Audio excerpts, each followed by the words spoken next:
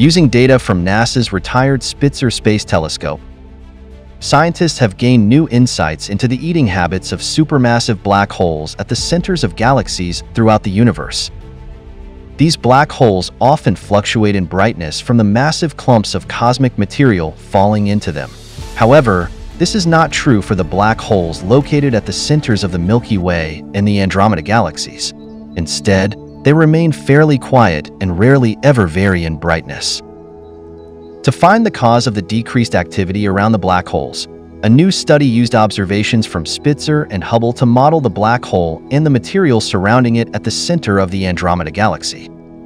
Hello and welcome to Zeey. Please don't forget to subscribe and hit the bell icon. In images from Spitzer, long streams of dust that span thousands of light years in length can be seen flowing into the supermassive black hole at the center of the Andromeda Galaxy. The closest major galaxy to Earth, located at about 2.5 million light-years away. As cosmic gas and dust fall into supermassive black holes, such as the one located in Andromeda, the material heats up and begins to glow, creating light shows around the black hole that can glow brighter than entire galaxies. However, this material isn't absorbed all at once. Instead, the material is consumed in clumps that vary in size, causing the brightness of the black hole to fluctuate. Interestingly, the supermassive black holes located at the center of the Milky Way and Andromeda are among the quietest known black holes in the universe when it comes to consuming cosmic material, or eating. When light is emitted from the black holes, the light doesn't significantly vary in brightness, which could mean the black holes are feeding off of a small and steady stream of cosmic material rather than different-sized clumps of material. Earlier this year, a team of scientists applied the hypothesis of a black hole feeding on a small steady stream of cosmic material to the Andromeda galaxy and simulated how gas and dust around Andromeda's black hole would behave over time. The simulation revealed that a small disk of hot gas could form near the black hole and continuously provide the black hole with a flow of cosmic material. The disk can constantly provide the material due to the disk being replenished by numerous streams of gas and dust. However, the team also found that the streams replenishing the disk must remain within a particular size and flow rate. If they become too big or too small, the material would fall into the black hole in clumps of various sizes, leading to the black hole fluctuating in brightness, which the Milky Way and Andromeda black holes do not do. When looking back at previous observations of Andromeda from NASA's Hubble Space Telescope and Spitzer, the scientists found spirals of dust that fit the constraints highlighted by the simulation. Using these images, the team concluded that the spirals were indeed feeding the supermassive black hole at the center of Andromeda. This result also means that a similar process is likely taking place at the center of the Milky Way, given that the two black holes exhibit similar behaviors and characteristics. This is a great example of scientists re-examining archival data to reveal more about galaxy dynamics by comparing it to the latest computer simulations.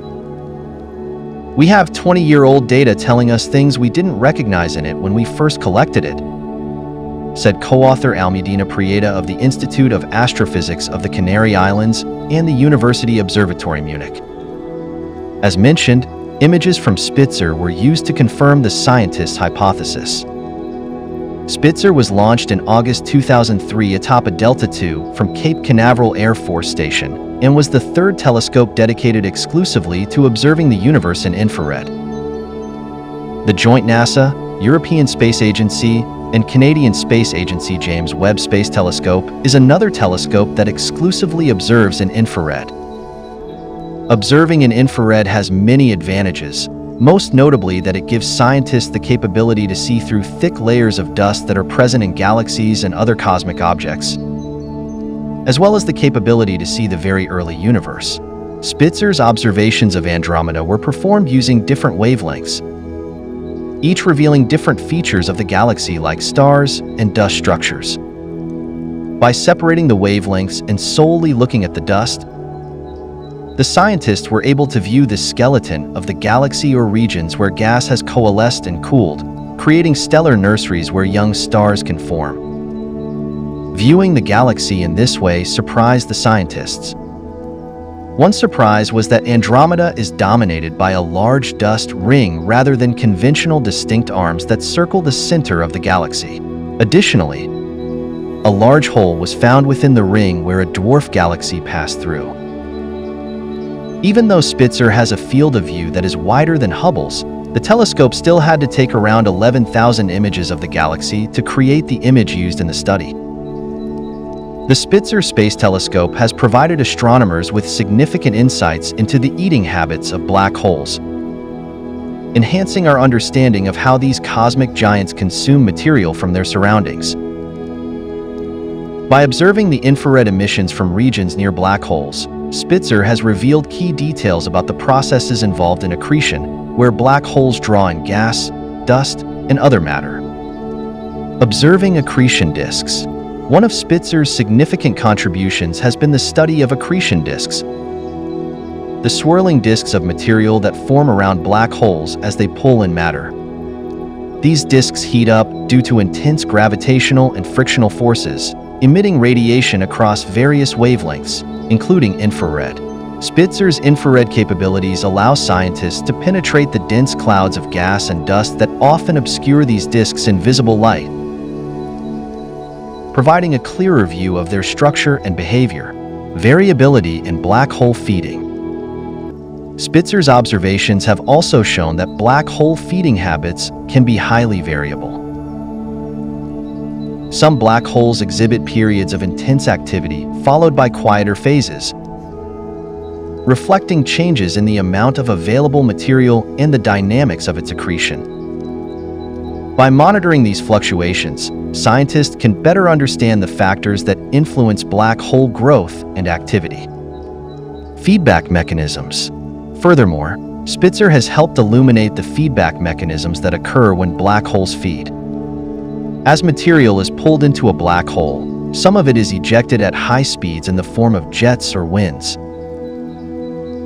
These outflows can affect the surrounding environment regulating star formation and the distribution of gas and dust in the host galaxy.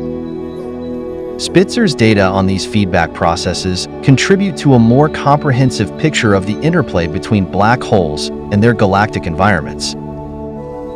Insights into distant and early black holes. Spitzer's ability to detect infrared emissions from very distant black holes has provided a glimpse into the early universe. By studying black holes at great distances, scientists can investigate how these objects formed and evolved shortly after the Big Bang. This research helps to trace the history of black hole growth over cosmic time, offering clues about the development of galaxies and large-scale structures in the universe. Multi-wavelength synergy. The Spitzer Space Telescope's findings complement those of other observatories, such as the Hubble Space Telescope and the Chandra X-ray Observatory. By combining data from multiple wavelengths, astronomers can construct more detailed models of black hole behavior and the physics of accretion. Spitzer's infrared observations are particularly valuable in this multi-wavelength approach, filling in gaps that other telescopes cannot address. Future prospects Although the Spitzer mission ended in January 2020, the data it collected continues to be a rich resource for astronomers. Ongoing analysis of Spitzer's observations is expected to yield new discoveries about black holes and their role in the universe for years to come. Future infrared observatories, such as the James Webb Space Telescope, will build on Spitzer's legacy, providing even deeper insights into these enigmatic cosmic phenomena. In summary, the Spitzer Space Telescope has significantly advanced our understanding of black hole eating habits by revealing the intricacies of accretion processes, the variability in feeding behaviors, the impact of feedback mechanisms, and the evolution of black holes in the early universe. Its contributions have been pivotal in shaping our current knowledge and will continue to influence future research in astrophysics. Thank you for watching. If you enjoyed this video and want to learn more about the wonders of our universe, don't forget to like, share, and subscribe. Hit the bell icon to get notified whenever we post a new video. Let us know in the comments what other space topics you'd like us to cover. Until next time, Keep looking up at the stars. Remember to subscribe and stay tuned for more cosmic explorations. See you in the next video.